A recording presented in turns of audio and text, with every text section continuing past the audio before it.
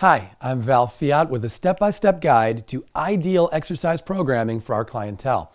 Too many fitness professionals are basing their program designs on their own personal experiences with exercise, and that's not a professional or an appropriate application of the science.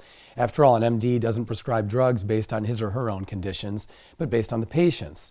So today I'm going to list the key steps involved in delivering the best and safest results in the shortest amount of time. Let's start with the client's medical history, where we not only determine contraindicators to exercise, but we start getting clues as to how to split up our session time amongst the different elements of fitness and how exercise response can be affected, such as is the case with many prescription drugs, such as beta blockers. By analyzing a medical history, we can also make clinically appropriate decisions as to which fitness tests are going to be the best use of the time that you have at the free consultation.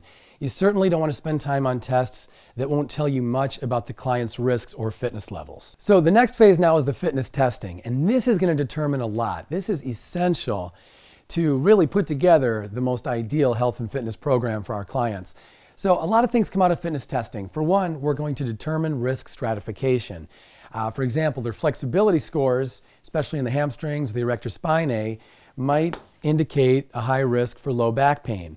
Uh, we also would look at cardiovascular factors like body composition, and uh, you might do the Karvonen method, or you might do a step test or a Rockport, whatever testing you want to do. We're going to determine a lot there about their risk for cardiovascular disease, and that's really critical as well.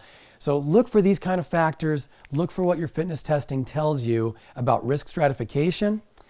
We're also potentially going to find symptoms of undiagnosed health issues.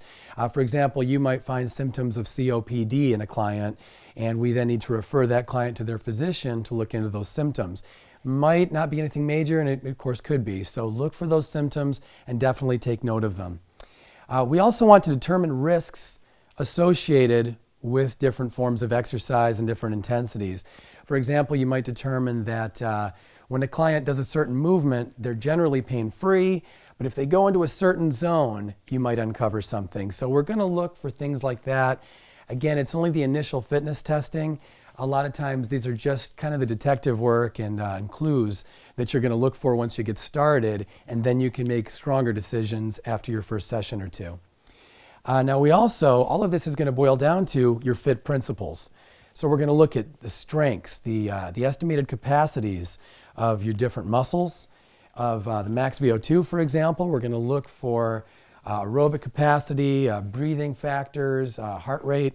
Everything's going to start being figured out as a result of the fitness testing. So you can incorporate your fit principles, your frequencies, your intensities, your times, your types, all of that that's going to plug into the actual fitness training session and program.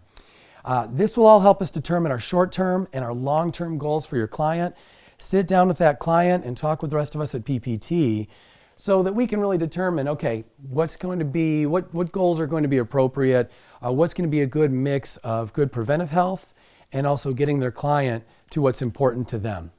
So now that we've gotten our preliminary information from our testing, it's time to figure out our high priority items and our low priority items. What are we going to get to first? What's going to get the most attention?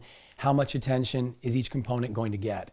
Um, we need to look at, of course, our fit principles, our frequency, intensity, time, and type for everything involving the musculoskeletal system, uh, such as endurance, uh, muscle imbalances as well, uh, strength, and flexibility. We need to start making some real decisions as to where our time is going to go, what intensity is going to be like, etc. We need to do the same thing for cardiovascular conditioning, right? These two are very separate. So it's important that when we're putting together our cardiovascular fitness, our fitness programming, that we're considering how much intensity, how much time, the modality, and all the other important factors. Uh, caloric equation is going to be an important factor as well for many of our clients especially those that are needing some fat loss. Uh, with the caloric equation, you're going to want to consider how many calories are we burning per session, how many sessions are in our plan per week, and what are they going to be doing on their own. So we need to put all of that together. And of course, for many of our clients, the PPT meal plan is also a big part of that. Uh, also, time to goal. For every one of the goals that we have for a client, we're going to want to figure out about how much time it's going to take us to get to that goal. So, for example, if a client's goal is that we're going to lose 10 pounds of body fat, and we've put together a caloric deficit where we're going to lose two pounds per week, we should be able to say, okay, if we follow this plan accordingly, it'll take five weeks to lose this 10 pounds of body fat.